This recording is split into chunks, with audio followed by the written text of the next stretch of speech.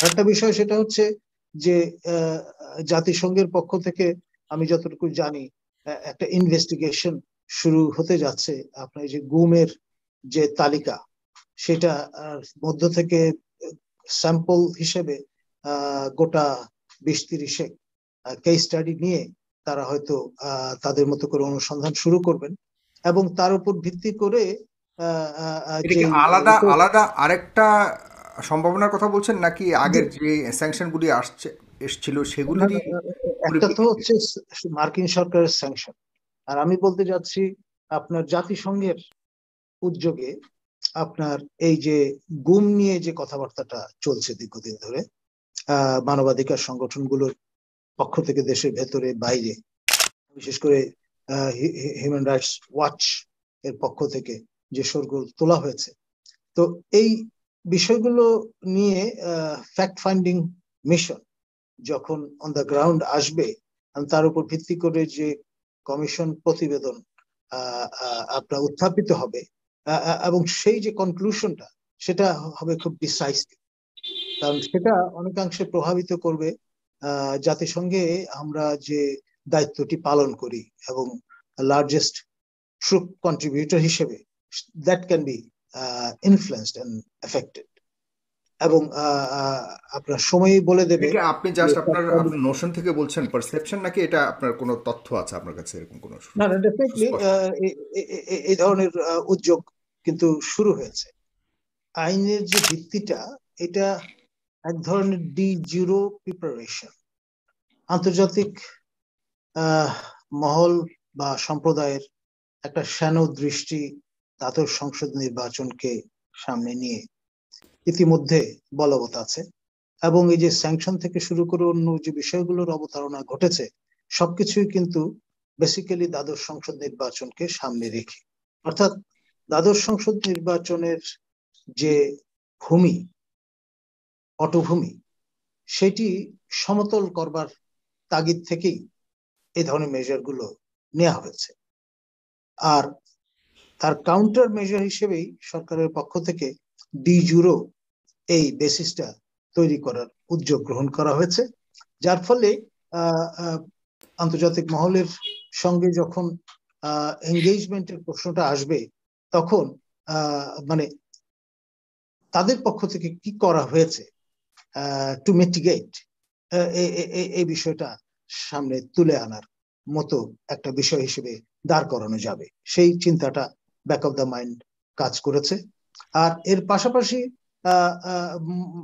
মাননীয় পররাষ্ট্র প্রতিমন্ত্রী মহোদয় যে বিষয় জানান দিয়েছেন সংসদে এবং পরবর্তীতে প্রেস ব্রিফিং এ যে তারা লবিং এর আশ্রয় না নিয়ে সরাসরি এঙ্গেজমেন্টে যাচ্ছে এবং তার পর্যায়ের সরাসরি এঙ্গেজমেন্টে আপনার মানে সরকারের সঙ্গে এক ধরনের আলোচনায় বসতে চাচ্ছেন এঙ্গেজড হতে চাচ্ছেন। এখন নানান রকমের সন্দেহ অনেকেই পোষণ করেছেন যে তার স্ট্রেচারের মানুষ ওয়াশিংটন ডিসিতে গিয়ে কতটা কোলকে পাবেন সেটা নিয়ে অনেকের নানান রকমের প্রশ্ন আছে but will have to wait for that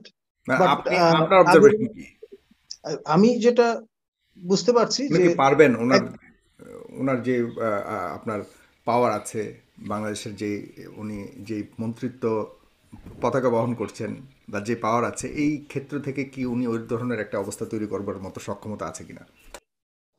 দেখুন তিনি জুনিয়র মন্ত্রী, এতে কোনো সন্দেহ নেই। যিনি একজন পূর্ণ মন্ত্রী এই মন্ত্রণালয়ের দায়িত্বে আছেন, তিনি দীর্ঘদিন ধরে মার্কিন যুক্তরাষ্ট্রের মাটিতে কাজ করেছেন। তার যে ক্লাউড এবং তার যে যোগাযোগ ন্যাচারালি উইথ ডিউ রেসপেক্ট সারিয়ার মহোদয়ের সেটি নাই থাকবার কথা। তারপরেও সবগুলো কার্ড হয়তো একসঙ্গে সরকার এক্সস্ট করতে চাইছেন না।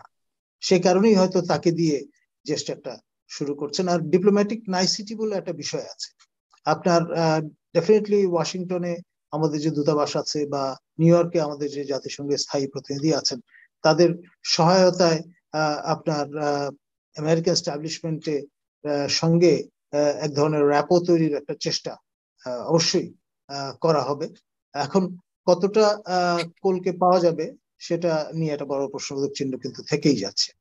আর আরেকটা বিষয় সেটা হচ্ছে যে জাতিসংঘের পক্ষ থেকে আমি যতটুকু জানি একটা ইনভেস্টিগেশন শুরু হতে যাচ্ছে। আপনার যে গুমের যে তালিকা, সেটা মধ্য থেকে স্যাম্পল হিসেবে গোটা বিশ তিরিশে কেস স্টাডি নিয়ে তারা হয়তো তাদের মতো করে অনুসন্ধান শুরু করবেন এবং তার উপর ভিত্তি করে আলাদা আলাদা আরেকটা সম্ভাবনার কথা বলছেন নাকি আগের যে স্যাংশন গুলি আসছে এসছিল সেগুলি একটা তো হচ্ছে মার্কিন সরকারের স্যাংশন আর আমি বলতে যাচ্ছি আপনার জাতিসংঘের উদ্যোগে আপনার এই যে গুম নিয়ে যে কথাবার্তাটা চলছে দীর্ঘদিন ধরে মানবাধিকার সংগঠনগুলোর পক্ষ থেকে দেশের ভেতরে, বাইরে। বিশেষ করে হিউম্যান রাইটস ওয়াচ এর পক্ষ থেকে যে সরগোল তোলা হয়েছে। তো এই বিষয়গুলো নিয়ে ফ্যাক্ট ফাইন্ডিং মিশন যখন অন দ্য গ্রাউন্ড আসবে তার উপর ভিত্তি করে যে কমিশন প্রতিবেদন আপনার উত্থাপিত হবে এবং সেই যে কনক্লুশনটা সেটা হবে খুব ডিসাইসিভ কারণ সেটা অনেকাংশে প্রভাবিত করবে জাতিসংঘে আমরা যে দায়িত্বটি পালন করি এবং লার্জেস্ট ট্রুপ কন্ট্রিবিউটর হিসেবে that can be influenced and affected এবং আপনার সময়ই বলে দেবে। আপনি জাস্ট আপনার নোশন থেকে বলছেন পারসেপশন নাকি এটা আপনার কোনো তথ্য আছে আপনার কাছে এরকম কোনো না না ডেফিনেটলি এই ধরনের উদ্যোগ কিন্তু শুরু হয়েছে। এটা পারসেপশন না। আপনার একটা প্রক্রিয়ার মধ্য দিয়েই তো আসলে প্রক্রিয়াটা সাঙ্গীকরণের দিকে যায় এবং সেই প্রক্রিয়াটা কিন্তু শুরু হয়েছে। তার মানে একের পর এক তো এরকম আমাদের উপরে একটা মনিটরিং এর আমি দেখছি যে ব্যাপকভাবে এগিয়ে যাচ্ছে। তো সেক্ষেত্রে আপনি এখন এই যে নতুন নির্বাচন কমিশনের মাধ্যমে নির্বাচনের যে আয়োজন করতে যাচ্ছে, খুব বেশি গ্রহণযোগ্য হবে? খুব বেশি কি ওই সহায়ক ভূমিকা পালন করবে এই যে স্যাংশনগুলি আমাদের উপর দেওয়া হয়েছে, এগুলি থেকে উত্তরণ ঘটাবার জন্য নিজে বাংলাদেশ এবং বাংলাদেশের প্রতিষ্ঠানগুলোকে আপনি কি মনে করবেন কিনা? কারণ হলো অলরেডি এই শুধুমাত্র দফা, উপদফা শুনে কিন্তু সবাই অলরেডি পিছিয়ে যাচ্ছে যে এটার মধ্যে আসবে না। অংশগ্রহণ করবে না, বিএনপি বলে দিয়েছে। তাহলে কি সংকট কি ঘনীভূত হচ্ছে না আপনি মনে করেন? ছোট্ট করে যদি বলেন, পাশাপাশি যে আমি আপনার কাছে রেখে যাওয়া প্রশ্নটার উত্তর একটু চাইব, যে খুব আজব মনে হয়েছে অনেকের কাছেই। যে আইন করে আগেকার কমিশনারদেরকে অনেকটা এক্সোনারেট করা হচ্ছে এবং বলা হচ্ছে যে তারা যে কোনো কিছু করুক। আগামী এই যে সংসদ নির্বাচন হবে যদি আইনের আলোকেই হয়, এই কমিশনাররাও যদি অপরাধ করে, তাহলে তাদের বিষয়েও হয়তো কোনো প্রশ্ন তুলতে পারবে না। তার মানে কি অ্যাডভান্স আমরা ওই রকম একটা ক্ষমতা দিয়ে দিচ্ছি না নির্বাচনে যে তোমরা যাই করো, আইন করে দেওয়া আছে তোমাদের সুরক্ষা আইন তোমাদের নিয়ে প্রশ্ন কেউ তুলতে পারবে না। এটা একদম আইনের ভিত্তিতেই করে দেওয়া হচ্ছে তো এইটা কি আপনি মনে করেন না যে একদম খুব দেখুন মানে এই যে দায় মুক্তি প্রদানের যে বিষয়টা এটা আপনার মানে যদিও তুলনীয় নয়, তবে আমাদের এখানে পূর্ব নজির যেটা খন্দকার মোশতাক আহমদ এ ধরনের একটা দায় মুক্তির ব্যবস্থা করে দিয়েছিলেন বঙ্গবন্ধুর পরিবারের খুনিদের সূর্য সন্তান